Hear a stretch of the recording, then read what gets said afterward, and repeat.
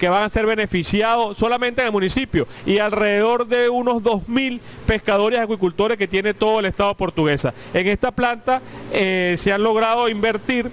hasta la fecha, bueno, para, su inauguración, 17,7 millones de bolívares fuertes, está ejecutada al 100%, ya entrando en operación. Aquí estamos viendo, ahí vemos las imágenes, las muchachas y muchachos, bueno, procesando este pescado, el coporo que viene de estos ríos, del río Portuguesa, del río Guanare, pescado, aquí lo vemos, vamos a sacar uno acá, cómo llega este pescado acá a la planta y pasa por diversas fases de limpieza, procesamiento, bueno, hasta llegar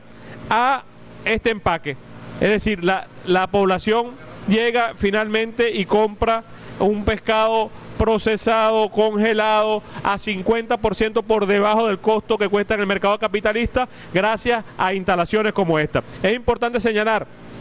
que esta instalación acá que estamos inaugurando es la número 17 a nivel nacional. Tenemos 17 instalaciones procesadoras de pescado que benefician a los acuicultores, a la acuicultora, a la población en general y se han invertido en esas 17 plantas gracias a la visión del presidente Chávez más de 215 millones de bolívares fuertes. Y acá en el estado portuguesa es sumamente importante porque estamos en Guanarito, aquí cerca vecino tenemos el municipio Papelón, que ahí tenemos tanto una planta de alimentos balanceado para animales como el centro piscícola de línea que produce los alevines. Es decir, estamos con esta planta ya cerrando un circuito, un circuito, un círculo virtuoso, como lo discutíamos hace rato junto con los camaradas eh, pescadores y pescadoras acá, eh, donde el alimento,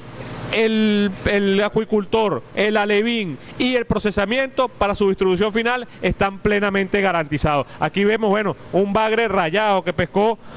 eh, camarada Bravo acá lo pescó, y bueno, estos también son procesados acá. Bueno, lo podemos encontrar acá con 50% por debajo. Además estamos acumulando todo el pescado necesario para la Semana Santa que vamos a hacer con la Feria Socialista del Pescado a nivel nacional y de esta planta saldrá pescado fresco, pescado salado para toda la población. Yo quiero que, bueno, ante la palabra a los compañeros trabajadores, compañeros pescadores, que el gobernador nos dé un análisis, porque bueno, estamos acá, eh, el Estado portuguesa, potencia agroindustrial realmente este año excepcional en producción de alimentos. Veníamos recorriendo la carretera Guanare-Guanarito, bueno, una, verdadera obra eh, monumental, dos años de funcionamiento, espectacular, mucho ganado por allí eh, nuevo, creciendo, es decir, se, nota el desarrollo agroindustrial del Estado portuguesa y este año que hemos tenido récord además en producción de cereales. Y ahora con la pesca y la acuicultura, bueno, también el Estado portuguesa tomando la delantera en esto, en, con estas instalaciones y con esta organización del Poder Popular. Más de 17 con Consejo de Pescadores y Pescadoras completamente articulado, eh, trabajando en función de garantizar la alimentación al pueblo. Gobernador, las impresiones de esta planta y del circuito que estamos instalando, o sea, porque lo importante de esta planta es que forma parte de un circuito. Son medios de producción ahora en manos del, del poder popular, en manos de la propiedad social, no en manos del capitalismo, que van a satisfacer, por un lado, la dignificación del pescador y del acuicultor y por otro lado está eh, garantizando la alimentación a los venezolanos y venezolanas.